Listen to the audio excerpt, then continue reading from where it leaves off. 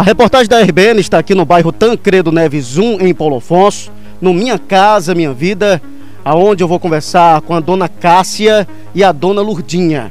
Elas fizeram um apelo na rádio precisando de alguns alimentos, eles receberam, só que as informações que a reportagem recebeu é que eles receberam esses alimentos para trocar por cachaça. Essa informação procede ou não? Boa tarde. Boa tarde, Wallace. É, é, muita mentira. Se essa pessoa que fez isso comigo é uma pessoa muito ruim, mentira. Minhas coisinhas tá tudo aqui. Tem os meus vizinhos tudo aqui de prova. Jamais eu faço isso. Tirar da boca dos meus netos. Quem fez isso comigo é uma pessoa muito covarde. Se foi a dona da casa, não faça isso comigo não. Se ela quer que eu saia da casa para ela vender a casa dela, só é me pedir, eu faço um barraquinho ali e vou sair da casa dela, mas ela não faça isso comigo não, não levanta esse falso não, que Deus está no céu e ela vai pagar. Esse falso testemunho que ela está levantando comigo, jamais, meu Deus do céu, eu faço isso. Vender meus alimentozinhos para beber de cachaça, Deus me defenda, meu Deus do céu. Pode, quem quiser, quem quiser ver, pode vir aqui em minha casa, que tudo que eu ganhei está aqui, jamais eu vendi nada para beber cachaça, é mentira de quem fez isso comigo. Mas ela vai pagar, essa pessoa que fez vai me pagar. Muitos alimentos você ganhou? Foi, foi pouquinho, foi, foi muito, mas pouco. Com Deus é muito, muito, sem Deus não é nada. Dá, dividir com minha filha do Benoni, que ela também está com fome, passando necessidade. Dividir com ela. E tá aí, o que eu ganhei está aqui em minha casa. Quem quiser vir olhar, pode vir olhar. Quem tiver em dúvida, pode vir olhar. Viu? É muita mentira. Jamais, meu Deus, eu faço isso. O que a senhora tem para falar também? O que eu tenho para falar é que esse povo, olha a situação, não é chegar na rádio mentindo, não. Olha a situação, ela só, ela só foi pedir apelo na rádio porque ela precisa. Eu sou mãe dela, fosse para trocar de cachaça, ela estava bebendo no meio da rua. Não era trocar alimento, não. Minha gente tem consciência, viu? Que hoje ela está assim, mas tá, quem sabe que foi fazer isso, não está também, viu? Isso nós vamos entregar nas mãos de Deus. Jesus toma de conta, porque Jesus é fiel. Viu? Não minto não, isso é feio ir na rádio mentir. Viu? Pois obrigado, uma boa tarde. Eu se quiser, quiserem vir, pode vir olhar a situação dela aqui. Eu não posso ter na minha casa que é pequenininha, eu já crio também um bocado de neto, que é filho do, do meu, meu neto, bisneto, viu? Mas é muito feio isso. Graças a Deus ela não vai em porta de delegacia nenhuma, não. Nós só somos pobres. Mas isso aí ah, ninguém faz não, isso não, viu? E qual é a renda que a senhora tem? Nenhum, eu não recebo Bolsa Família, não recebo sal, o, o auxílio, não recebo nada, nada. Não tenho nenhuma renda. Então, a Casa Minha Vida eu fui fazer, não, não fui aprovada. Até hoje estou esperando, não recebi ainda. Viu? Não tenho nenhuma renda, nenhuma. Já teve dia de eu pegar meus netinhos e pedir, e chegar a pedir esmola, para dar de comer a eles e comer também. É muita mentira quem fez isso comigo. Mas Deus vai pagar, Deus vai cobrar de quem fez isso comigo. Eu tenho meus vizinhos tudo de prova aqui. Quem quiser vir aqui olhar aí minha casa, pode vir. Pode vir, eu estou em casa, não saio não. Estou aqui com meus netinhos e minhas filhas. Pode virem, viu? A senhora tem quantos anos? Eu tenho 38. A senhora pagava aluguel e agora não está conseguindo mais pagar. Cheguei quando eu aluguei aqui, meu marido estava trabalhando, ele trabalhava em Matias Construções. Eu paguei oito meses de aluguel a ela, paguei tudo direitinho, certinho, e agora estou devendo dois meses, ela me expulsou da casa. Minhas coisas estão tá no meio da rua. Ela disse que ontem ela veio aqui, disse que não queria de jeito nenhum, vai querer a casa de hoje para amanhã. Ela disse a eu que ela quer vender por 30 mil reais. E disse que queria porque queria a casa. Aí eu disse a ela que ia resolver isso aí, já tinha ido na rádio. Eu falei até a ela que já tinha ido na rádio pra arrumar um cantinho pra mim. E ela pegou e disse, tá bom, Cássia, depois de hoje pra amanhã eu vou querer minha casa. Digo, tá bom, vou entregar, já tô tirando, vou, falta eu tirar o resto das coisas que tá dentro de casa ainda. Tirou até foto daqui da casa dizendo que já tinha uma pessoa que vinha olhar hoje para ela vender. E eu tinha que desocupar a casa de todo jeito. Eu disse, mulher, se eu não arrumar um canto para morar, eu vou ficar no meio da rua, é Lúcia? Eu paguei nove, é, oito meses, mulher, direitinho a tu. Nunca fiquei devendo nem um mês. Agora meu marido está desempregado. Meus vizinhos sabem, ele pesca. Se ele pegar três quilinhos de peixe, ele vende dois para comprar alguma coisa para nós comer. E comprar álcool, alguma coisa, uma mistura, uma coisa. E, eu, e ela não entendeu, não. Ela só pediu a casa. Não, casa, eu não quero saber, não, mulher. Faça um barraco, faça alguma coisa, mas eu quero minha casa. Que o homem vem olhar. O homem vem olhar para comprar a casa e eu estou precisando do dinheiro. Durante esses meses que você ficou aqui, você pagava certinho? Pagava certinho, 150 ela me cobrou. E quando eu entrei aqui não tinha vaso. Meu marido trabalhava em Matias, botou vaso, viu?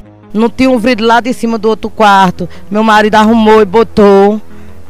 E ela fazia isso comigo. Se, se foi ela, ela não faz isso comigo, não, meu Deus do céu. Ela viu que eu paguei direitinho. Nunca, nunca, quando completava num dia, no outro dia ela vinha, eu pagava direitinho o dinheiro dela. Ela não faz isso comigo, não, que ela tá vendo minha situação. As, ela mandava buscar de mototáxi, o dinheiro já tava na mão. Essa semana ela veio. Tem uma vizinha minha que mora ali na outra rua, tava aqui. Ela, ela, ela viu que, que a dona Coca que tá aqui. Ela veio e disse, Cássia, eu quero a casa. Tô, meus vizinhos chegou e disse, mulher, não faça isso com ela não. Tu tá vendo a situação da bichinha, não faça isso com ela não. Não tira ela da casa agora não, que ela não tem pra onde ir. Deus sabe, meu Deus do céu, que eu não tô mentindo. Eu não tenho pra onde ir. Não tenho. Tenho prova aqui. E a minha prova viva é Deus, que sabe que eu não estou mentindo, não. Muita mentira de quem está levantando esse falso comigo. Viu? Quem tiver em dúvida, pode vir aqui, olhar a minha situação, que vai ver que não é mentira, não, é verdade. Tudo que eu estou falando aqui é verdade. O que foi que você comeu hoje? Eu comi arroz, feijão, macarrão que minha filha fez, porque eu ganhei ontem. Mas se não tivesse ganhado hoje, quem eu estava pedindo? Pedi a minhas vizinhas, pedi a minha mãe a meu cunhado eu pedia. Pedia não, eu peço. Se eu precisar, eu peço. Peço. Viu? É mentira, gente. Não confio, não, não acredito, não. É alguém que quer fazer o mal. Deve ser ela mesma, a dona da casa, que ela quer me tirar da casa. Ontem ela veio só tirar a dúvida. Aí eu fui falar ela que tinha fala, falado na rádio que estava precisando e queria um canto para sair daqui. Quanto isso eu não ia sair. Aí por isso, eu acho que foi ela, não tenho dúvida, foi ela mesmo. Agora quem não precisa é ela, que tem uma casa no centenário, viu? Tem uma casa no centenário e tá vendendo aqui. Em vez de dar a quem não tem, a quem tá no meio da rua. Agora a reportagem da RBN está aqui no Dom Mário Zaneta, em Paulo Afonso. Esse bairro fica próximo ao bairro Centenário e ao meu lado tem Dona Lúcia, a proprietária da casa lá do Minha Casa Minha Vida, no bairro Tancredo Neves 1, em Paulo Afonso. Tem uma família que não pode sair da casa dela, está precisando de ajuda. Algumas pessoas ajudaram, mas a informação que eu recebi, dona Lúcia, é que você quer tirar à força essa família lá do Minha Casa Minha Vida. Essa informação procede? Boa tarde. Boa tarde. Não, não, é, Tiago. É, a casa lá, é, quando ela me pediu para morar, tem uns três meses, né? Eu, eu botei ela lá dia 21 de fevereiro. Então, no caso que ela está dizendo que me deu algum dinheiro, ela me deu dois meses, viu? 150 reais. Mas para quê? Para ajudar na água e na energia, né? Aí ela, ela, quando foi com uns três meses, ela disse, olha, você não está podendo mais pagar. Eu disse, então, mulher, já que você não está podendo pagar, saia da casa. E, e fora que os vizinhos estavam dizendo que ela que tá indo polícia para lá, né? Porque eles estavam bebendo muito e a polícia tá indo lá direto. Então eu, eu fui pedir minha casa para ele sair, né? Então ele disse, não, deixa eu receber um dinheiro aí, eu vou trabalhar que eu vou sair da casa. E até hoje não quero sair. É isso que eu quero que eles saiam lá, né? Porque eu quero ajeitar minha casa e quero voltar para lá. E essa história que eles falaram para mim que você estava querendo vender? Não, não procede não. É mentira deles, viu? Que ali eu, não, eu vou vender por quê? Que é dos meus filhos, né? Eu ganhei por. E eu, eu, não tô lá porque eu trabalho no cemitério daqui. E de lá eu tava vindo a pé. E lá tem testemunhos que tava acontecendo isso. Até dinheiro emprestado eu tava pedindo por lá para poder vir trabalhar. Viu? Às vezes eu vim até a pé de lá. E aí, por isso que eu quero que eles saiam de lá da casa. No caso, você ajudou a essa família estar se vendo nessas condições? É, né? No, caso foi o pai dela que me ligou, né? Dizendo, Lúcia, deixa Cássia uns dias lá enquanto ela arruma uma casa, viu? Então, fui ajudar e no final tô sa saindo como, como ruim, né? Que a pessoa quer ajudar e no final sai como ruim, né? Aí eu quero que eles saiam lá pra mim ajeitar a casa. A casa tá toda bagunçada, tá sem água, sem energia lá. Viu? E eu quero botar as, as água e energia lá pra me voltar pra lá. E você só quer resolver as coisas numa boa? É, eu não, não cheguei lá com briga não, não cheguei com briga, eu simplesmente ela disse que ia sair. Lúcia, aí, aí em vez de pegar o dinheiro que eles pegam e, e, é, e caçar um aluguel, vão beber, passa a noite todinha bebendo cachaça, é melhor eles sair da casa, né? E ainda mais levando polícia lá pra minha porta. E você foi quando lá? Eu fui ontem lá. Eu fui ontem lá e conversei com eles, eles que iam sair. Aí eu disse, olha, eu, é, pra semana eu venho aqui de novo. Eles disseram, tá bom. Aí, mas não sei, né, como é lá que tá, né? Que o povo tá dizendo que eles querem tomar a minha casa. E eu quero a casa lá, né? Quero que eles saiam pra me ajeitar, porque tá toda bagunçada. Como foi que você ficou sabendo dessa reportagem que foi feita na RBN? Olha, foi por terceiros, né, que me ligaram, né, e dizendo que ela tava, que ela tava, assim, falando de mal de mim, né, na reportagem, né? Dizendo que eu tava vendendo a casa, mas eu não tô vendendo a casa, viu? Eu não tô vendendo e, e, não, e não posso dar a ninguém, porque é a casa é de meus filhos. Você mora aqui nessa casinha que você está vendo as imagens e nós estamos conversando com a Lúcia, que é a proprietária lá da minha casa, minha vida, no bairro Tancredo Neves 1. E o que é que você vai fazer, Lúcia, agora? É, né? Vou esperar ele sair, né? Porque eu tenho que ajeitar lá, né? Tá, eu tenho que pintar, como eu disse a ele ontem mesmo, o rapaz lá. Eu só eu, eu quero a casa porque eu tenho que pintar. Ele sabe, só quando eu sei, mas eles têm dinheiro, eles têm como sair, viu? Eles têm como sair, que eles ganham até, até coisa e diz que ganham uma casa. Eu quero que eles saiam de boa. Eu não fui lá para brigar, não cheguei lá brigando com eles, não. Simplesmente pedi a casa. Porque não tem como eles ficar lá, que eu tenho que ajeitar a casa. Você mora aqui de aluguel? Não, aqui é de minha irmã. Porque aqui era de herança, sabe? Aí eu, porque eu trabalho aqui no cemitério, eu tô por aqui por causa disso. Que eu trabalho aqui de lá, eu tava vindo de pé, com, com três crianças de pé. Às vezes pegava carona, às vezes vinha de pé mesmo. Viu? E às vezes voltava pra lá de pé também. Aí não, tem, não tinha como eu ficar lá, né? Que eu tava desempregada só com cinco covas. Eu usava cinco covas só. Viu? E aí, com isso que eu, que eu me mantenho. Eu não sou rica, não, como ela disse que eu sou rica, não. Não sou rica. Viu?